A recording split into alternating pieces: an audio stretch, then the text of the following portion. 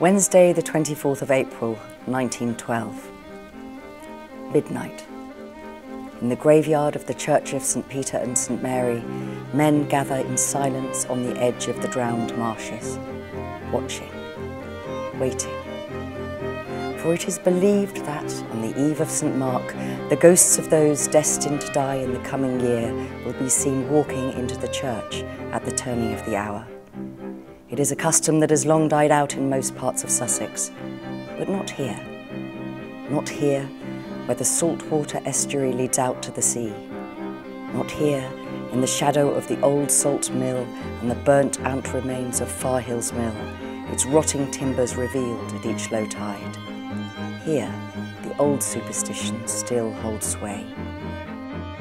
Skin, blood, bone. With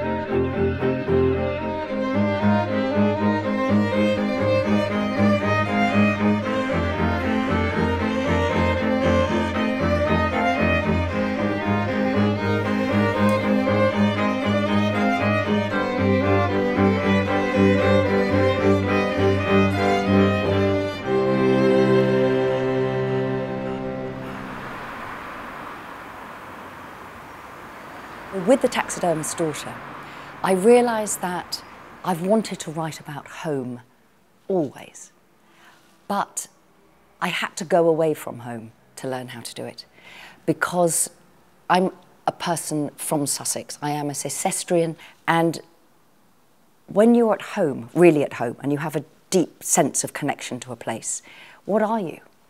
You're always somebody's daughter, somebody's sister, somebody's mother, somebody's wife. Um, you're not writer, first and foremost. Going to France and finding that there were stories in that landscape that came to me and that I wanted to do. In Carcassonne, I was a writer first, all those other things second. And I realised that I couldn't have written about Sussex until I was ready and I'd learnt how to do that. So everything about what makes Labyrinth, The Sepulchre, Citadel, The Winter Ghosts, the novels that they are. It, of course, it's the history. It, of course, it's the stories. Of course, it's the very particular thing of the Languedoc. On the surface, this looks like a radical departure because all of my writing, really so far, has been love letter to Carcassonne and the southwest of France. And people associate me with writing about that very particular type of landscape. But actually, it's not a departure. I've the wonderful quotation by the great American writer of landscape, Willa Cather, who said, let your fiction grow from the land beneath your feet. That's the writer I am. It comes out of landscape. Stories and land are indistinguishable. You cannot separate them.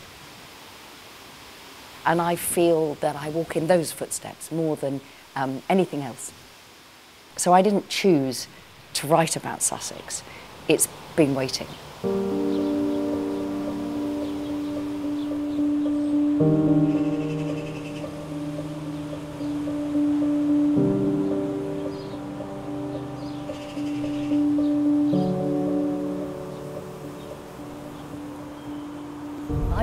Up in a little village called Fishbourne, just outside of Chichester in West Sussex. And we moved there in sort of 1961, and I was there all the time until I was a grown up. And one of the things about that sort of village was um, it could have been 40 years before, almost 100 years before. So when you stand there as a novelist in that landscape, you are seeing nothing of today. You are only seeing those sort of flickering, almost, you know, they are black and white images. It's very odd how you find yourself being pulled into the language of film, which is not my area at all, really. Um, and that's how a novel comes to life. It, it peoples the landscape that you're writing about. And then it feels like a matter of recording it rather than making it up. It never feels like making it up. I was a very um, bookish child. Um, I fancied myself in the famous five, really. You know, I read all of those Enid Blyton books and I wanted to be out there, uh, charging about finding adventures, falling down tin mines, no tin mines in Sussex. Um, but I spent a lot of time on my own, out on the marshes. And we turn right at the duck pond and walk across the first little bridge, and then the second bridge over a stream that when the tide was high, swelled to quite a big river, and then a tiny little third bridge. And then you'd walk along the old seawall where the sluice gates used to be. And at the low tide, there was a path across the mud and the marshes. And you could see the old mill that had burnt down. Um, but I didn't know what it was then. I just knew that there were the remains of something. And of course, as the tide comes in twice a day, that path goes. So there's only a couple of moments when you can get safely across the marshes. And I spend a lot of my time out there on my own. And it was the landscape of my imagination. I can see now. And I can see now that because I grew up there, um, I became a writer. I might not have done if I'd lived somewhere else.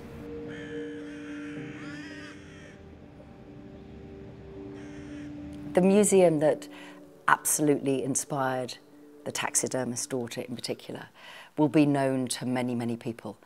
And there was an extraordinary Victorian taxidermist, self-taught man, Sussex man. And he, over time, built up a tiny museum of taxidermy. And over years, it became one of the great tourist attractions of England.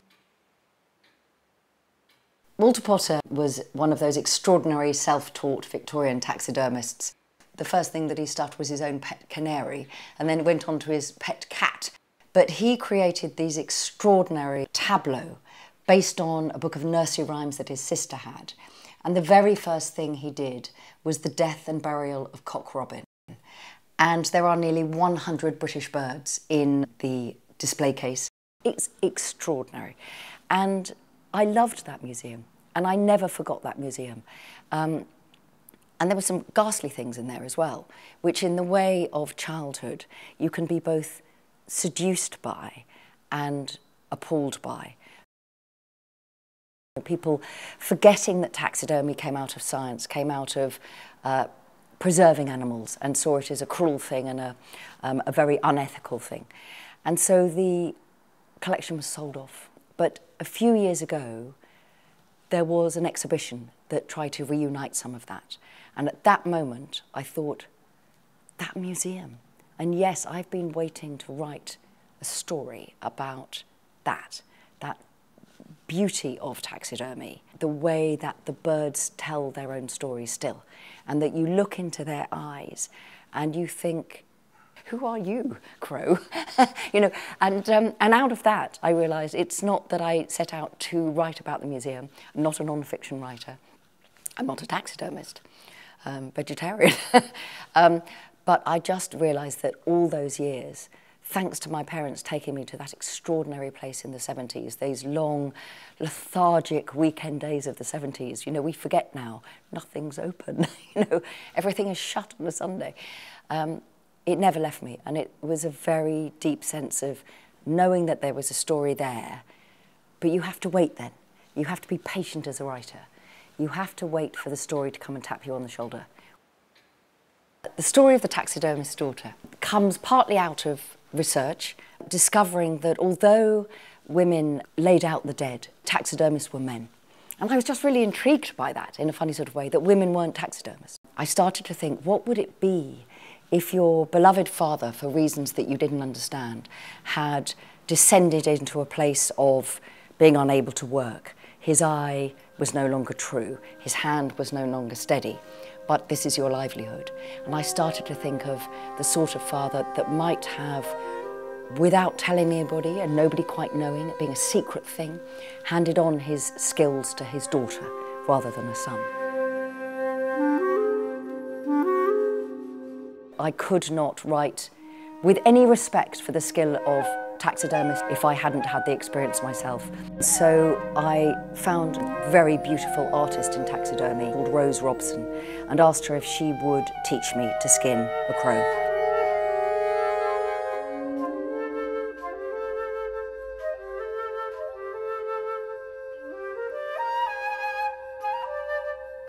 The delicacy of it is quite extraordinary. Holding a scalpel in my hand, opening up that bird and starting to peel back the skin and seeing the flesh inside and the feathers. And it was the most extraordinary experience. Will I be having a secondary career as a taxidermist? I will not.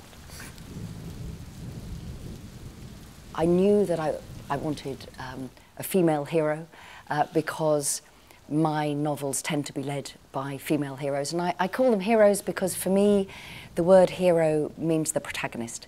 It means the person who is the engine of the story, who drives the story forward, the person who does stuff, uh, rather than being the subsidiary or secondary role, which for me, I'm afraid the word heroine still um, makes me think of princesses on hillsides waiting to be rescued. Um, and so that's how Connie, the lead character, started to come to me. And then out of that is the idea of what might have happened to make her father become a man who can no longer really function. What, what happened in their childhood? So Connie lives with her father in 1912 in a very isolated house on the edge of the marshes in Fishbourne. It's deep, dark, tidal mud. If you miss your footing in the path at night, the mud will swallow you up very high reed mace up to your shoulders. When the wind blows, it's like the sound of rubbing hands, and it's like bones rubbing together. There is the sense of menace, someone out there in the reed mace watching the house. The ice house in the garden that's filled with bell jars from the old museum.